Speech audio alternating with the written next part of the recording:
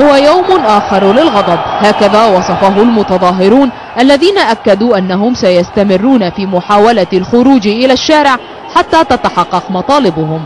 مطالب لم يصدر بخصوصها تعليق من الحكومة حتى اللحظة.